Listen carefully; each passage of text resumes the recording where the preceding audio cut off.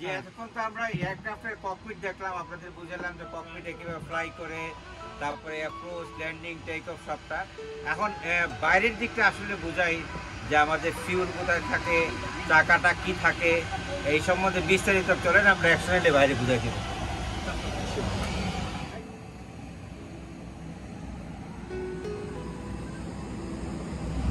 এটা ককপিটের পরে এখানে হচ্ছে বাইরের জিনিসটা। আমরা যে বাইরের বডিতে engine number one, engine number two এয়ারক্রাফটের লেফটে যে ইঞ্জিনটা থাকে সেটাকে বলে ইঞ্জিন নাম্বার ওয়ান, আর ডান দিকে যে তেলটা ইঞ্জিন থাকে সেটাকে বলে ইঞ্জিন নাম্বার টু। আর এই যে আমাদের উইংটা দেখতে পারতেছেন, এইটার মধ্যে আপনার এয়ারক্রাফটের ফিউল থাকে হ্যাঁ? আমাদের যে জ্বালানি থাকে গাড়ির মধ্যে, এরকম এয়ারক্রাফট ফুল এই ট্যাঙ্কির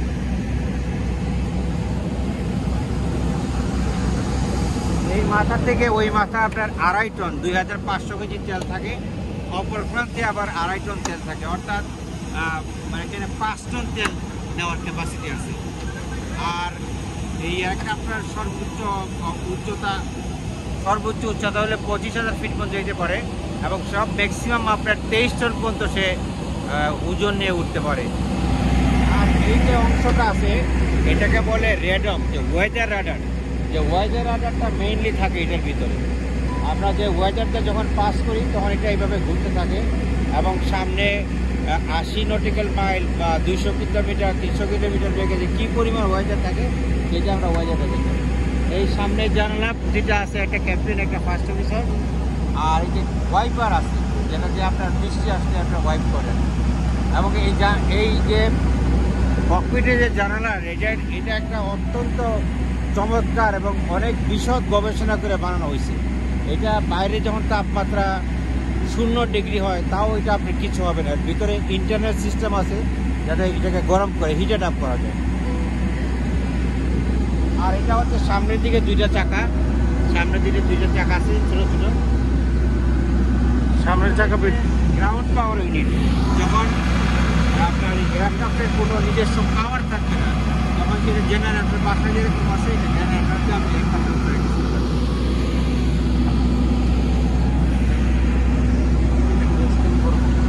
করে এটা হচ্ছে এটা হচ্ছে ইঞ্জিন নাম্বার টু আর আমাদের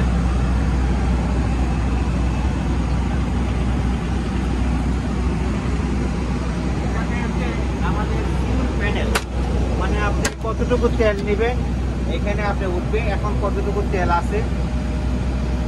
এটা হচ্ছে ফিউল প্যানেল এখন এই এই এয়ারক্রাফটের তেল আপনার একটাই একটা উইং আছে পাঁচশো আটানব্বই কেজি আর একটা আছে পাঁচশো উনষাট কেজি। অর্থাৎ এই মুহূর্তে এটার মধ্যে তেল আছে সতেরোশো কেজি ফিউল এটা হচ্ছে ফিউল প্যানেল তার মানে কি আপনারা যখন টেক অফ করেন তখন কি উইলে আড়াই আড়াইশো আড়াইশো না এটা সবসময় আমরা নেই না বিকজ সবসময় যদি ফুল ট্যাঙ্কি তেল নেই তাহলে আমরা কার্গো আর ব্যাগে নিতে পারব না। এটার একটা ক্যালকুলেশন আছে। যেমন আজকে আমরা আসার সময় মাত্র সতেরোশো কেজি তেল নিচ্ছি আড়াই কেজি আড়াই কেজি পাঁচ কেজি নিয়ে যাই সো যেটা আমি মিনিমাম ফুয়েলের জন্য আমি ম্যাক্সিমাম প্যাসেঞ্জার ক্যারি করতে পারি কার্গো যেসব রুটে অনেক বেশি কার্গো থাকে সেহেতু আমরা মিনিমাম ফুয়েলটা নেওয়ার চেষ্টা করি। আরেকটা ছোট হ্যাঁ। হলো যে এই প্রপেলার ইঞ্জিনের সাথে জেট ইঞ্জিনের আসলে মানে তফাৎটা? আচ্ছা এটা একটা ভালো প্রশ্ন। প্রপেলারের মধ্যে আপনার প্রপেলার থাকবে। ওইটা ঘুরাই দেখাবেন এই যেটা ঘুরতেছে। এটা হচ্ছে প্রপেলার ইঞ্জিন এটা যখন ঘুরে বাতাস দেয় তখন এই ডানা গোলাপে লিফট জেনারেট করে আচ্ছা। আর জেট ইঞ্জিনের মধ্যে কোনো প্রপেলার থাকবে না। এটা সামনে অ্যাডজাস্ট করবে এবং বাতাসটা যখন পিছন দিকে ছাড়বে তখন হচ্ছে থার্স্ট হবে সামনে দিকে চলবে লিফটিংটা এদিক দিয়ে হয়। লিফটিং হয় আপনার উইং এর উপর দিয়ে। বাতাস বাতাস যখন উপরে নিচে যে পাস করে তো নিচে লো প্রেশার হয়। আর প্রপেলার অর্থ সামনে প্রপেলার থাকবে। জেট ইঞ্জিনের কোনো প্রপেলার থাকবে না। আচ্ছা এখানে আমাদের হচ্ছে চাকা থাকে। পিছনে এখানে দুইটা, আবার ওইদিকে দুইটা, চারটা, সামনে দুইটা। আমরা যখন অবতরণ করি, সমস্ত প্রেশারটা এই দুই হুইলে দেই। এটা যখন টাচ ডাউন করে, তখন আমরা সামনে হুইল দিই। আর এটা হচ্ছে আপনার, আমরা যেমন গাড়ির ফুয়েল ট্যাঙ্কে যেমন আমরা খুলি সেরকম এটা হচ্ছে আপনার ট্যাঙ্ক ফুয়েলের ট্যাঙ্কে এসে এখানে লাগে। এখানে আছে জেট ফুয়েল আমাদের যে ফুয়েলটাকে বলে জেট ফুয়েল এটা হচ্ছে কেরোসিন বেসড অর্থাৎ আমি অল্প তেলে অনেক বেশি এনার্জি ঘুরাবো এই জন্য জেট এ ওয়ান তেল হয়। এখানে কত প্রেসে ফিউল উঠবে এখানে ফিউল প্রেসার পেন উঠবে এই এয়ারক্রাফটের প্রাইস বলা যাবে? এই এয়ারক্রাফটের এটার যদি ব্র্যান্ড নিউ কিনতে যান পঁচিশ মিলিয়ন ডলার প্রায় আমাদের টাকায় আড়াইশো কোটি মাই গড তাহলে এইরকম এয়ারক্রাফট কয়টা আছে ইউএস বাংলাতে ইউএস বাংলা আছে ষাটটা হ্যাঁ। আমাদের এটি আছে ষাটটা আচ্ছা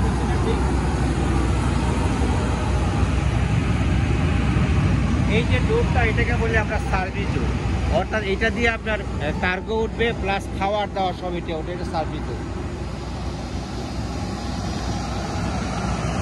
সামনে যাচ্ছে যে প্লেনটা এটা হচ্ছে জেট ইঞ্জিন এর কোনো আপনার প্রপেলার নাই। হ্যাঁ। ওই সামনে যে বাতাস দিয়ে পিছন থেকে ধাক্কা দিবে যারা প্লেনটা সামনে যায়। আর প্রপেলারের কাজ হচ্ছে আমাদের প্রপেলার ফ্যানের মতো বাতাসটা পিছনে নেবে এর কোনো প্রপেলার নেই এটা হচ্ছে ইঞ্জিন সেভেন এইট আপনি তো সব প্লেনই না চালান আমাদের পাইলটদের হচ্ছে আপনি যখন একটা প্লেন চালান তখন হুট করে আরেকটা প্লেন যেতে পারবেন না। ওর জন্য আলাদা ট্রেনিং আছে আপনার গ্রাউন্ড ফোর্স আছে সিমুলেটর আছে রুট ট্রেনিং আছে অনেক রকম ঝামেলা প্লেন চেঞ্জ করতে। এটা হচ্ছে যে নৌকার যে লাস্টের হালটা আছে এটাকে বলে রাডার ডান দিক বাম দিক যায় আর ওই যে উপরে আছে এটা বলে এলিভেটর এটা আপ ডাউন করলে আপ করলে প্লেন আপ হয় ডাউন হয়। এটা হচ্ছে এলিভেটর এটা হচ্ছে আর এই যে এটা হচ্ছে ফ্লাইট ডাটা রেকর্ডার যদি অ্যাক্সিডেন্ট ইনসিডেন্ট হয় তখন পেপারে দেখবেন যে কোথায় প্লেনের ব্ল্যাক বক্স হ্যাঁ হ্যাঁ আমি আগা গত আধা ঘন্টায় আমি আমার পাইলটের সাথে কী আলাপ করলাম টাওয়ারের সাথে কী আলাপ করলাম প্রতিটা জিনিস আমি যে হেডিং এটা ঠিক ছিল কিনা ল্যান্ডিংটা ঠিক রাখছি না। আপনি প্রতিটা জিনিস এখানে ডাটা কালেকশন এটা আছে একটা ইয়েলো রঙের যদিও বলে ব্ল্যাক বক্স আসলে এটা ব্ল্যাক বক্স না। লট অফ রেকর্ডার হ্যাঁ ডাটা রেকর্ডের কালারটা হয় যাতে দূর থেকে আমরা দেখতে পারি। এটা পানির একটা নির্দিষ্ট গভীরতা আছে ওইখান থেকে গেলেও আর সিগন্যাল দিতে হয় মানুষ আচ্ছা। এটা কালেকশন করে। এটা কালেকশন করলে একটা এয়ারক্রাফ্ট অ্যাক্সিডেন্টটা বোঝা যায় কেন হলো। এইটা কি? আর এটা হচ্ছে এটাকে বলে টেইল প্রপ এটা হচ্ছে টেইল প্রপ এটা হ্যাঁ টেইল প্রপটা করে কি? এটা এয়ারক্রাফটের ভিতরে থাকে। নামার পরে এটা দেওয়ার সাপোর্টিং পিছনে যদি অনেক ব্যাগেজ হয় প্যাসেঞ্জার হয় যাতে টেইলটা না পড়ে যায় এটার জন্য এটাকে আটকানো হয়। আগের মতো গাড়ির যে আগের মতো। হ্যাঁ।